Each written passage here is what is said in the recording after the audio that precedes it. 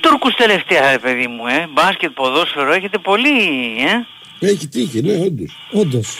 Έτσι δεν είναι. Βέβαια έχουμε έτσι και μια παράδοση που ξεκινά από λίγο παλιά με τον Ιμπραήμ Κουτουλουάη. Ε, που Πω, είχε μεγάλη παιχτάρα. Έχει παίξει Κουτουλουάη. στην ΑΕΚ, δεν είχε παίξει. Ε, από εμάς τον Ο πήρε. Ήπο. Πρώτα στην ΑΕΚ και μετά στον Πάδο. Μμ. Μπράβο. Πρωταλητή με ΑΕΚ. Σωστά. Σωστά. Και ο Ολυμπιακός πάντως παίρνει παίκτες από την Τουρκία, όχι Τούρκους αλλά παίρνει. Είναι μόνιμος πελάτης ε, παικτών από την Και ο μεταγραφών. Παναθηναϊκός όντως πρόσφατα πήρε τον Μπακασέτα, πήρε τον Τετέ. Όντως. Πήρε Είχε τον πάρει ε, και έναν Καϊντή, Τούρκο. δανεικό. Ναι. Τη... Ναι, τη ναι, Φενέρ. ναι. Λοιπόν, Εντάξει, λογικό, είχε έρθει ο Τερήμ, θα έφερνε. Ε, ναι. Τέλος πάντων, πάμε λοιπόν στα Για του πάμε. Ολυμπιακού. Να πούμε ότι και ο Μεντιλιμπάρα έχει δώσει τρεις μέρες ρεπός στους ερυθρόλευκους και μάλιστα τι τρεις μέρες ουσιαστικά είναι Κώστα μου, 4-24 και συγγνώμη. ώρα. Κώστα μου. Μάλιστα λοιπόν λέγαμε ότι έδωσε τρεις μέρες ρεπός στους παίκτες του Ολυμπιακού ο Μεντιλιμπάρα, ουσιαστικά είναι 4-24 ώρα, ε, πολύ γενναίο ρεπό. Όχι όμως και για τον Βίλιαν και για τον ε, Πέστον τον Ολιβέηρα οι οποίοι πήγαν σήμερα στο Ρέντι και έκαναν προπόνηση και θα πάνε και την Δευτέρα. Μόνο δηλαδή Κυριακή θα έχει όλη η ομάδα ρεπό. Είναι λογικό οι δύο τελευταίοι οι δύο τελευταίες μεταγραφές του Ολυμπιακού, ο Βραζιλιάνος και ο Πορτογάλος, να θέλουν παραπάνω δουλειά. Α, μην ξεχνάμε ότι ο Βίλιαν δεν έκανε προετοιμασία με την... δεν είχε ομάδα, οπότε δεν έκανε προετοιμασία, έχει να παίξει πάνω από τέσσερις μήνες. Ε, ποδόσφαιρο, τέσσερις μήνες να το πούμε σωστά ποδόσφαιρο. Ο Δε Ολιβέηρα α, έκανε προετοιμασία με τη Γάλατα, ωστόσο δεν έπαιζε. Ε, χρειάζεται και αυτός εξτρά δουλειά για να, είναι, να βρουν, να το πούμε έτσι ως το δυνατόν, τα πατήματά τους, το ρυθμό τους κλπ. Σίγουρα ε, τους βοηθάει αυτή η διακοπή του πρωταθλήματος ε, και μ, όπως και να το κάνουμε μ, τέλη Σεπτέμβρη λέμε υπό καλές συνθήκες λογικά ποδοσφαιρικά να το πούμε έτσι θα είναι πιο καλά οι δύο αυτοί παίκτες από τους οποίους ο Ολυμπιακός περιμένει πάρα πολλά πράγματα γιατί πολύ απλά ο, Ροντιν, ο Ροντινέλη, ο Βίλιαν είναι ουσιαστικά κατά κάποιο τρόπο ο αντικαταστάτης του Φορτούνη Οκ, διαφορετικά εντελώς μεγέθη, αλλά ο Εντελώς, Φορτούνης, ναι, ο Φορτούνης όμως τον Ολυμπιακό είχε δώσει πάρα πολλά πράγματα και γενικότερα και ειδικότερα πέρσι. Εγώ ειδικότερα ρωτήσω, δηλαδή θα πάει πίσω από τον επιθετικό. Θα δούμε. Ναι.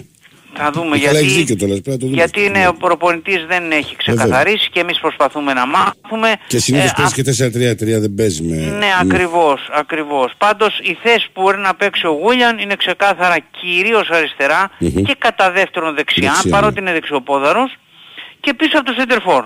Αυτές είναι.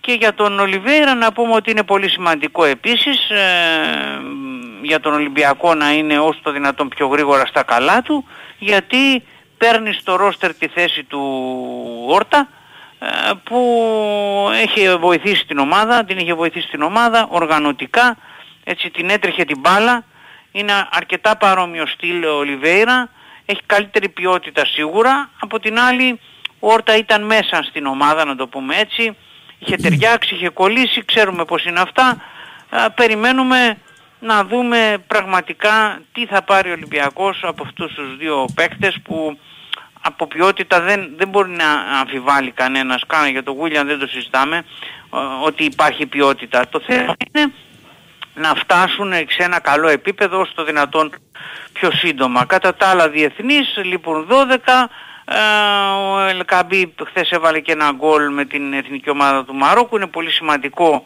ε, να, επιστρέ- που επιστρέφει πάλι στα γκολ. Είχε βάλει δύο και την τελευταία αγωνιστική. Μάλιστα το έβαλα από πολύ ωραία πάσα του Ουναχή, πώς το λένε, Ουνάχη, Ουνάι, πώς το λένε. Ουναή. Όπως να είναι. Ουναή. Ουναή τέλος πάντων. Οκ. Ας τελειώνουμε τώρα, Ας το δρόσουμε. πούμε έτσι. Ξενεθήκαμε. Δεν θα Ας το το το πούμε παιδί, έτσι. το όνομά του θα πούμε. Έτσι, ήταν μια πολύ ωραία assist του Μαροκινού του Παναθηναϊκού, αλλά και μια πάρα πολύ ωραία κίνηση του Ελ Κααμπί που την έχει αυτή την κίνηση. Ε, πέρασε και τον goalkeeper και το έβαλε. Κάνουν και καρδούλες, χεράκια, ο ένας τον άλλον, μια χαρά. Ναι. Αγαπημένοι. Έτσι. Ναι, ναι, είναι, είναι πως το λένε, ήταν ε, φίλοι, το, το ήξεραν στον Σωστό, Ολυμπιακό. σωστό. Αυτό Να τα το βολέψουν πράγμα. και να φέρνουν και χίτα ματσάκια μεταξύ τους μια χαρά. ε.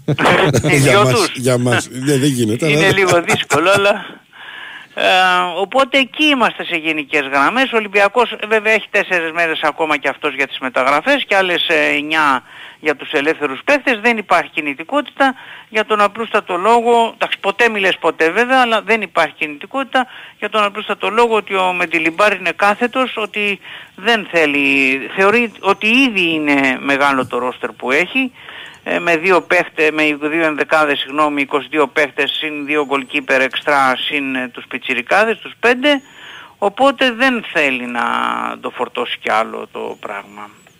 Αυτά.